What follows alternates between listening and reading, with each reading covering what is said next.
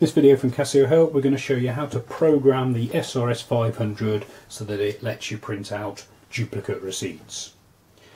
As with all programming it's key round to PGM mode and then arrow down to system settings. When that's highlighted cash amount end then free subtotal to go into the free subtotal programming 0622 followed by subtotal. And then now we type in the following code which is 00 00 40 00 00 then cash amount 10 to finish followed by subtotal. Now turn the key back round to the reg mode.